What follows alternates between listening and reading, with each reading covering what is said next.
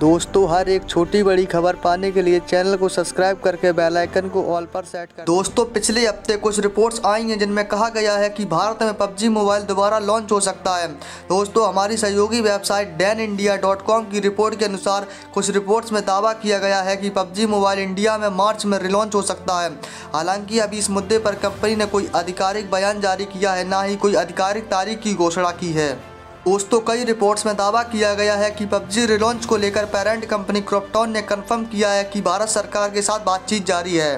दोस्तों, प्राप्त जानकारी के मुताबिक पबजी मोबाइल 1.3 ग्लोबल का नया अपडेट तैयार हो चुका है। इसे जल्द ही पूरी दुनिया में अपडेट कर दिया जाएगा। दोस्तों, बता दें कि कंपनी ने साफ़ किया है कि भारत में फ़िलहाल पबजी न्यू स्टेट के लिए थोड़ा और इंतज़ार करना पड़ सकता है। दोस्तों, फ़िलहाल भारतीय गेमर्स के लिए पबजी न्यू स्टेट का प्री रजिस्ट्रेशन नहीं खुलेगा। दोस्तों, प्राप्त जानकारी के मुताबिक अगर पबजी मोबाइल को भारत में दोबारा लॉन्च किया भी गया तो नए गेम के लिए लोगों को इंतज़ार ही करना पड़ेगा। दोस्तों, कंपनी फ़िलहाल भारत में पबजी मोबाइल का पुराना गेम ही रिलॉन्च करेगी। बता दें कि पबजी न्यू स्टेट को भारत में लॉन्च करने की कोई योजना नहीं है।